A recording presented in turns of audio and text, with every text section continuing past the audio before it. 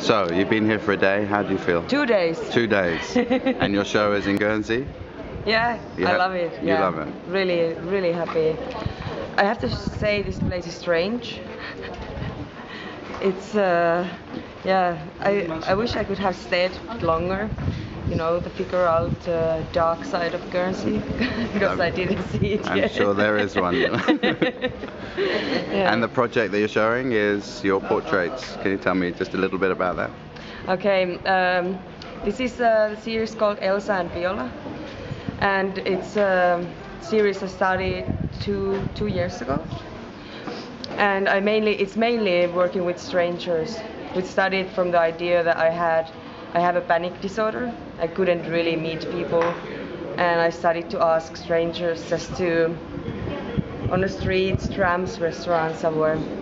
But there are also people I know, and it's also about relationships. Like you see in some of the pictures, there are more people than one, like sisters, so me and my dad. Uh, it can be an animal, like uh, Anni Maria with Donna, it's a dog. And but mainly it's also uh, about the moment of taking portrait and what really happens when you spend this intense moment with someone. Right. And the pictures that you have here are uh, six or eight pictures, and it must be a much bigger project. How? m- Uh, I think here we have 10. Ten. Okay. I think 10 or 11. Right. Um, yeah, it is much bigger. I, I don't know how many it is. Right. and are you still working on that, or now you're living in London? Yeah, I do my project in Russia in the military school right now, and at the same time I work in, in London.